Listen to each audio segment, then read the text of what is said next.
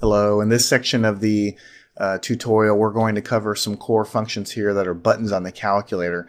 First we're going to cover the uh, logarithm and the uh, basically the inverse of the logarithm, 10 raised to the power of x. So these are buttons that you use uh, quite a bit because logarithms are very common in math and they're pretty straightforward so this will be a pretty short section. Uh, if you want to take the logarithm of a number, uh, remember we're in RPN mode right now so if you put let's say 10 on the stack and take the logarithm of that. Now, log on this calculator is a base 10 logarithm. So basically, when you evaluate this guy, it's going to try to find a number so that when you raise it to the power of, of this answer that we got, we get we get 10 back. So 10 raised to the 1 power gives us 10. Uh, you can put, you know, 52.2 and hit the logarithm button and it'll try to find that answer as well. So basically you push it onto the stack and you hit it and you hit the uh, the button there, the the uh, action button. If you try to put log on the stack first without a number there, it gives you an error because we're in RPN mode. But just like with a lot of different things, you can temporarily operate in algebra mode by hitting this guy, and then you can go ahead and take the logarithm. I'm going to put it like this, right hand button, logarithm, and uh, you know, we could put 4 on there and it'll put it on the stack as log of 4. We can evaluate that to a number and it'll give us the answer. So it's however you want to go ahead and deal with it. Um, now the inverse of the logarithm, so this is a base 10 logarithm, is 10 raised to the power of x. So that's right here over on the left hand side.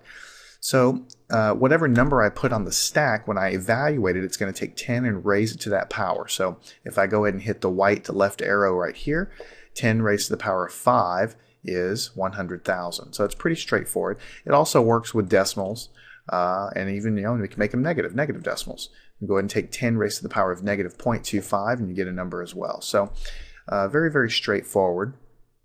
Uh, so these guys are inverses of one another, and that's why they're kind of second functions on the same button. Now, uh, logarithms are, are prevalent all throughout math, science, and engineering. Uh, but it turns out that the natural logarithm is even more prevalent. It's something that you're going to use even more than these guys down here, especially when you get up into calculus and beyond.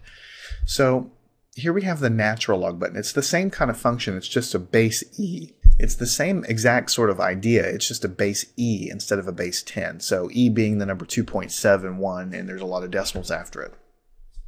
So if you want to take a natural log, you just push a number on the stack and you go and hit the natural log button, right arrow up here, and you'll get ln of 78. It's trying to keep everything exact for us. Let's go ahead and change it to a number and we go ahead and get the value back. If the calculator ever just gives you back a function with a number inside, just go ahead and convert it to a number just like we did down here.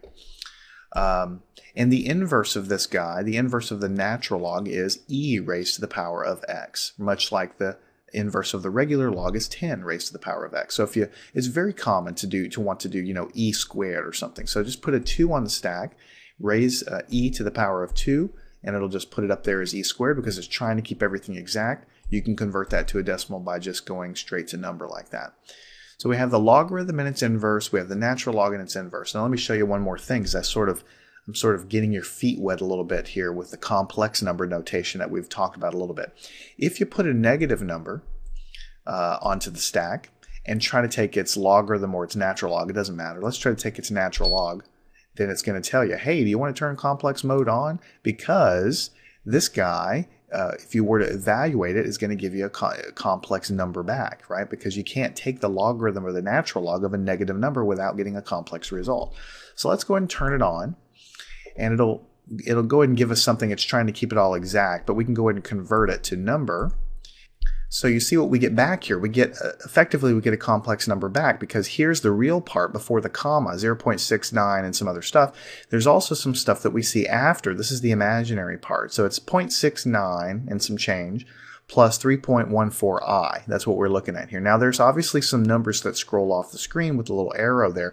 If you ever see that, um, what you need to do to go and scroll there is just go ahead and press the edit uh, button here. Uh, right, so the first the first soft menu button here, and it'll kind of bring it up so that you can sort of scroll over with your cursor, and you can see that it's it's basically pi, 3.14159. That's basically pi. So when we took the logarithm of the natural log of that negative number, we got a complex number back, real number plus imaginary number back. And, and by the way, if you ever looking for this edit button so that you can go and, and look at your digits like that and you kind of you're kind of buried deep in the menus and you don't see it up here, just remember your friend here, the tool menu. When you press the tool menu, it's kind of like the home menu a little bit. You've got uh, ways to clear the stack. You can uh, you know, do lots of other things here that we're going to talk about a little bit later on. But the most important and common button is the edit button here. So you just hit this guy and then you're in edit mode and you can go and take a look at everything that you have here. So that pretty much wraps it up for logarithms. Uh, base 10 logs, their inverse, natural logs, and their inverse. These are some of the most important and common features that you're going to be using on the calculator because logs pop up everywhere. So just want to do a quick quick lesson to show you how to use those guys on the HP50G calculator.